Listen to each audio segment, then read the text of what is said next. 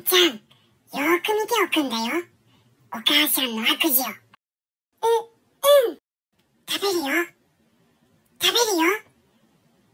あ、食べた。ほら、見たでしょ？お母さんがおやつ食べるところ。自分ばっかりおやつ食べてずるいよ。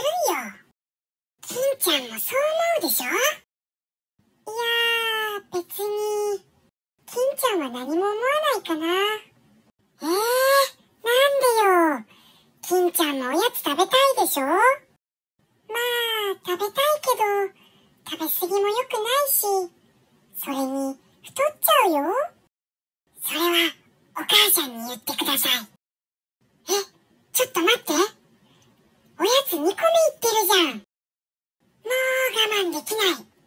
むりちゃん、お母さんに怒ってくる。そんなに食べたら旅で、お母さん